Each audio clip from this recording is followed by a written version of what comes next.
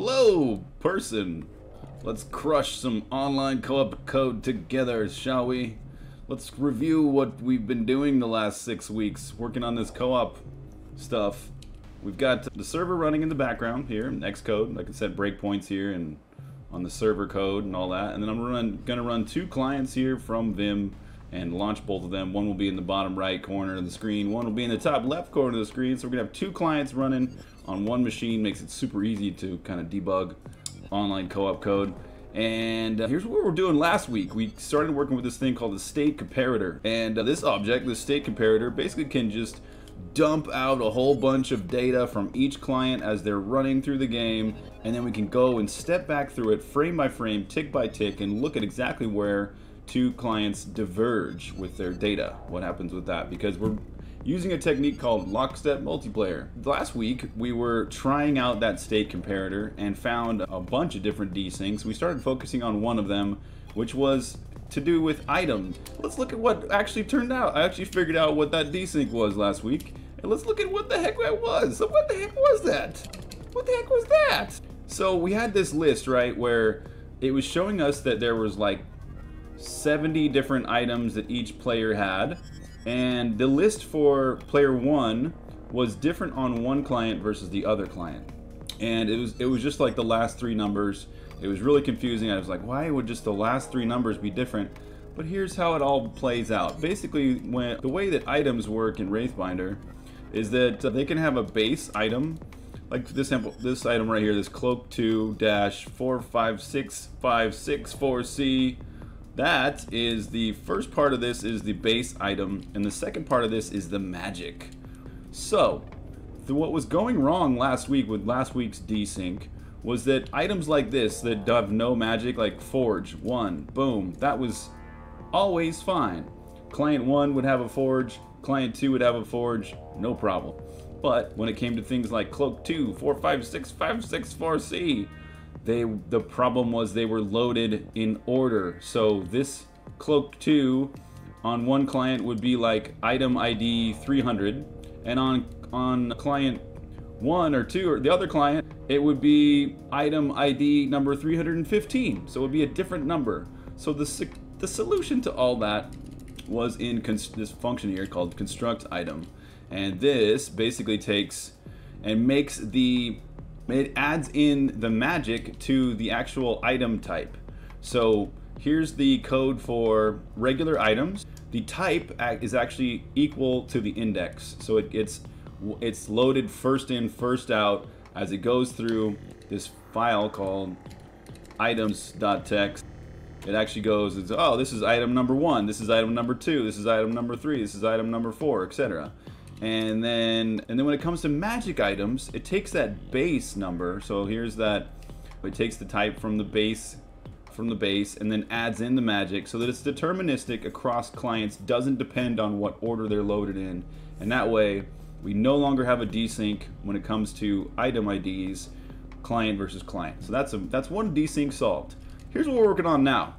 We have a whole bunch more desyncs that all have to do with clients running starting at the different times. Let's actually, I'll show you what I'm talking about. We're gonna go ahead and run it and we're gonna have both our clients here on the screen and you'll see that one client starts a little bit differently than the other. It all depends on the timing. So we're gonna see the bottom right client loads first. There, there it is. And then, and he also, Vim appears on the elevator. Now the top left client, Vim appears on the elevator, but the other player is teleported in. So not only do they start at different times, but they appear on the screen in different ways. So that already starts both of these clients off in a desynchronized state.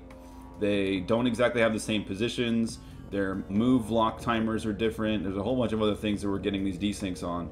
So that's today's goal.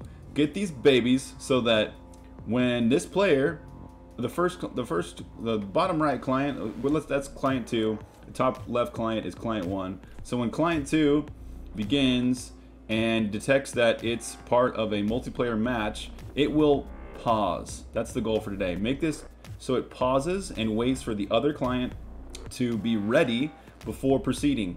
Either way that works, right? So if client if we had client 1 that loaded first, client 1 would wait for client 2 to be ready, before they both begin and they both load up on the elevator and everything starts exactly on the same tick. That's the goal. So, to that end, I've already started a bunch of code for that.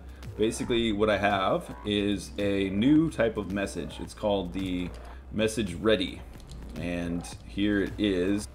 Message ready is basically just tells you what player and whether they're ready or not. And a client could use this message to tell the server, hey, I'm no longer ready. Hey, yo, i am dealing with something over here. I got a whole bunch of packets backed up or whatever. It could pa it literally pause the game by sending a message saying, hey, I'm no, I'm no longer ready. And then the server replies with a message ready reply and tells you, it gives you a vector of bools for all the clients, whether they're ready or not. So now that we have this message and we've hooked everything up on the server too, so the server can actually read that. It gets the message, the server reads the message, the server finds the match that the player is part of, the server looks up the client for that connection, and then sets some client flags to be client ready or not, depending on whether their message says they're ready or not. So the server is actually keeping track of matches, of course, and also the clients within those matches, and whether those clients are ready or not. This is where the curtains are about ready to be opened, and we've sent a message ready to the server. So we're going to say tick set paused true there. Again, this is pretty bare bones. It's not how it should be eventually, but well, we're just doing it that way anyway. Okay, let's double check what we got here. We got two clients ready to run. Bam! We're not recording any playback or anything yet. Okay, that's good. Bam! Run this. Let's see what happens. Our goal is to have one client just pause, waiting for the other one to load. Okay, it looks like that, that client's paused. Oh my god, is it working? That really looked like it worked to me. Oh, wow. I'm excited already. That was awesome. Okay, we do have one issue, and that is that one client is still teleporting in while the other one is riding the elevator. We want both clients to ride the elevator, but let's see what happens. Let's see if they really are on the same tick. Dang, I don't know if they are. I don't know. Hmm. Okay, that, that was awesome. That kind of worked on the first try. How can we get both clients now to do, to ride the elevator? Okay, we're going to turn this into a get collision XY then. And we're going to use the box to... Oh, excuse me. Allergies. It's getting hot in here. It's hot afternoon. All right. Well, yeah, well, you... Okay. Actually, I think there's a function I already wrote called find elevator somewhere. It's also in enums, okay. And it finds with... Oh my gosh, this is great. This is, this is what I needed right here. It's at line 5534. Okay, we're going to move that function. And great, we don't have to write anything new as far as code goes. So let's run that, baby. Once again, what we're looking for here is for both of the clients to be standing in the correct place at the beginning and for them to ride the elevator up together and us to see that in a really synchronized, beautiful way. It looks like synchronized swimming. Imagine these characters had some really nice swimming hats on, they're in some really nice sleek bathing suits. They're doing very graceful movements the whole time. That's what we need to see here. Come on. Come on, synchronized swimmers. Oh, Vi what the heck just happened there? Vim rode the elevator very nicely. Good job, Vim. But something really weird happened on the other client. The camera got totally off. Why? I have no idea what just happened there. What the heck? Not only that, but I can move... I, am actually moving client 1's character, Cam, but I, I'm not seeing client... Oh gosh, I don't know. Okay. Wow, that almost worked. Cam is standing in the wrong place, and something happened with their animations which wasn't quite right. Huh, but now it seems that Cam is in the right place? This is really weird. Wow, look at that! Even the... Oh, we're really almost on the right track here. This is great. The Gold Thief just appeared on both people's screen for the first time ever in six weeks of multiplayer coding. It almost seems like the AI was synced up there. Is that is that for real? Did we get another gold coin here? It's, oh my god, it happened twice! Oh my god, I think we're actually in sync right here. This is a really big moment. Oh, holy crap. What? Prove it. Let's do it one more time. Oh! so great. Okay, I don't know if every single run we're always going to be in sync, but this is a really sweet moment for for Wraithbinder's multiplayer code. That's really neat. That says a lot. to have the AI actually run exactly the same on both screens is huge. That means we're right on the right tick. Everything's lined up. We're pretty much in sync for that to be able to happen. That's super cool. Super duper sweet. Oh my god. Oh, there we have a problem. Look at this. The gold appeared. The gold didn't flip in the exact same way. We got, on one client, we got gold over here. Whoa, whoa! Another client has the gold over here. Okay, we're out of sync now. Alright, so it's like I said, it's not going to happen every time that we are in sync. But it was really neat that we were in sync there for a second. Everybody saw it. I'm sure you guys all noted that. Everything was recorded and duly noted, and there was several witnesses. What are those people called that sign things? Signers? Notaries. There were several notaries in place. I've got a little log statement in place now, which says when it sets the dungeon home. This is kind of the important thing, is when. Because we've got players loading in, right? We got this player loading in, joining the game. The other player's loading in, joining the game. And it's like, maybe what's happening is that it sets the player's position once, and then the other player joins and realize, and then the and then it should be setting the player's position again. Maybe that's what's going on. I finally looked at this bottom right client, and he didn't ride the elevator. Oh, that might be the, oh, that might be why there's they have the wrong positions. He's not riding the elevator on one of them. So hey, if you just joined the stream, what I'm working on here is a multiplayer game called Wraithbinder. This is an online co-op roguelite, and um, I'm working on some code that gets both of the clients to start at exactly the same tick and in exactly the same way.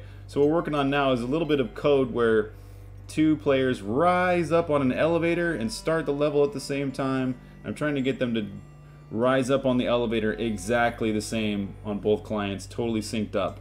So that's where what we're working on right now. So these little offsets have to do with how much the off the player is offset from the elevator itself. I think that's right. Ah, we've been messing with this way too much. Just run it. Man, running out of steam. Running out of steam. Mental steam. Doing things the wrong way is learning. Absolutely, isn't it? Might as well do things the wrong way as much as you can. Learn as much as you can along the way. Oh, oh, oh, it worked! Both of the players rode the elevator at the same time. Both of the players are... Wait a second. Cam's in the wrong place, though. That might have to do with those offsets. Cam is slightly too high on the on the first client. See this? Look at Cam's feet right here. He's above that little whatever that is. Okay, let's. What if, what if the offset was zero every time? okay, removing the offsets put the players on top of each other. Of course, that's really funny, but nonetheless, they might actually be in perfect sync. Let's find out. Let's see. Let's. We're gonna hit that. Put some gold on the ground. Look at that. The gold's in the same place. If I get out of the way, the, hey, look, look at that. The gold thief came in exactly the right time. Looks like we might be in sync here. We're to use the other player to now... Some more golds on the ground. It's the gold's still in the same place, too. That's good. Where's that gold thief at? There he is. Oh, he did the same thing on both clients. Okay, this is really great. Oh my god.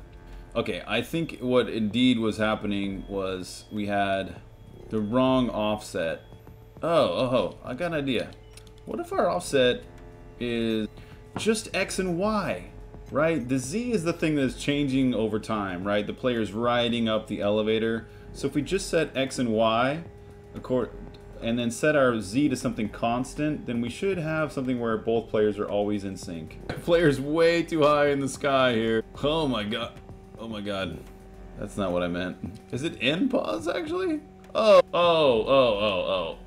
Okay. Uh, this is a really, really simple thing. It shouldn't be either start pos or or end pos because this is an offset, not a position. It's not an absolute position. This is a relative position, an offset.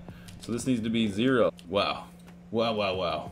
Okay, okay. Oh, yes! Oh! Oh, I love it. They're in exactly the right positions now. So sweet. Look at that. They even raised their swords at the exact same time. This is awesome. Okay, let's test this out with the AI. We got some gold on the ground. Looks like the gold is in the same spot on both clients. That's good. Yep, the gold thief acted the exact same. Let's get that gold thief to come on the screen one more time. There he is. Oh, look at that. Oops, it looks like he acted wrong. He might have acted wrong, I'm not sure. Whatever. Oh, there we have a little bit of a problem. Look at this. Whoops. I accidentally picked up that piece of gold, but the gold was in the wrong position on one screen. So one client had the gold and the other didn't. And look at this, now that now that that gold thief came, he stole the gold on one screen, but he didn't steal the gold on the other, other screen. So things have gotten out of sync, but we've made some huge strides on today's stream. So the goal of today's stream was to get these clients to start exactly on the same tick in exactly the same way, riding up the elevator the same together. And look at this, we've achieved that. We're gonna play it one more time They'll kind of do a little recap of today's stream. So we're gonna watch both clients come on the screen at the, the same time, both riding the elevator, both in these, the, the correct positions on the elevators, on the elevator. Bam! Oh, that's really great. So so satisfying to see that. All right, man, this is great. So we're off to a really good start here. This is we're about six weeks in on writing co-op code. A lot of it has been like getting things synced up and all that, but we're we're good. This is really really good step now. I mean, if we can get our players off on the right foot, exactly on the right thing, and then kind of deal with the desyncs as they come, little tiny things like maybe this player has I don't know. I'm not even sure exactly what we're going to find as far as desyncs go, but once we get this all, all a lot of these desyncs handled, then we're going to be really a lot closer to ready for July 14th's beta. So that's the next time you'll be able to play this. Yeah, July 14th through the 25th, Wraithbinder is having its fourth public beta. So if you ever, if you want to be part of this, just go to Wraithbinder's Steam page, click the green request access button, and July 14th, you will be able to play this in your library on Steam. So, and it will be multiplayer. You'll be able to play this multiplayer with other people online or your friend. And it's peer to peer, so it'll be fast if you are really close to someone. Like if you're playing on a local network, it'll just be super duper fast automatically. How about that? So, yes, that's it for today's stream. I'm kind of recapped what we did here today with getting these players to be in sync starting up and that really did a lot for keeping these players in sync. In fact, we've seen a couple instances where we saw the exact same AI code running on both clients for a little bit. Things got out of sync after a second though, so there's something going wrong with the desync somewhere. The clients are slightly getting out of sync in some of their variables somewhere. But we've got a tool for that. It's called the state comparator. It's this thing that dumps out all this state data and we can go back and sift through it with the comb and figure out exactly which grains of sand are different on each client. So, thanks for watching this stream. I'll be back next Wednesday. I'm, my name's Wizard Fu. I make video games like Songbringer and the upcoming action roguelite Metroidvania Wraithbinder. Uh, later.